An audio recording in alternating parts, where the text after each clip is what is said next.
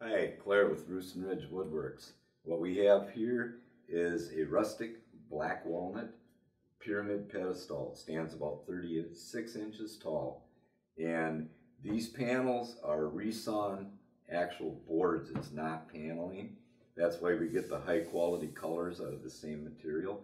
It has a footprint of approximately 17 inches.